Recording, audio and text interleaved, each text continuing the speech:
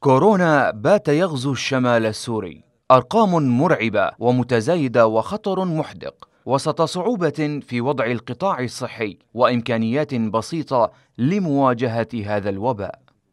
لا شيء ترجوه المنظمات الإنسانية والطبية في الشمال السوري سوى أن تهيب بالأهالي الالتزام بالإجراءات الوقائية وإلغاء التجمعات وارتداء الكمامات للحد من انتشار عدوى الفيروس. كل ما يتغير بوضع انتشار الفيروس في الشمال السوري هو أعداد الإصابات والوفيات المسجلة في كل يوم.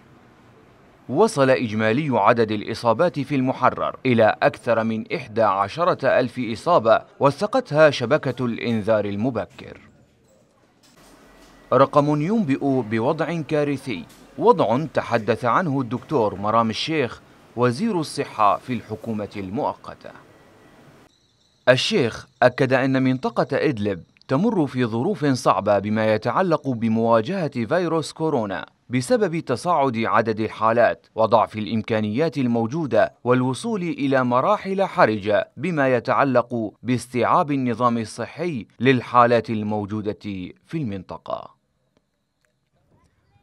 مخاوف الشيخ شاركه بها فريق منسقو استجابة سوريا وسلط الضوء على الوضع في المخيمات وتهديد الفيروس لأكثر من مليون نازح داخلها ما يمثل حلقة قد تكون الأخطر في سلسلة الظروف الصعبة التي يعانيها قاطني المخيمات.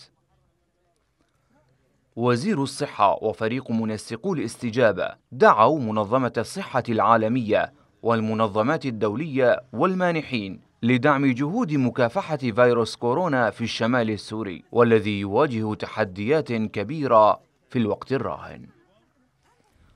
وضع مناطق شمال شرق سوريا ومناطق سيطرة نظام الأسد. ليس أفضل حالا من وضع الشمال السوري.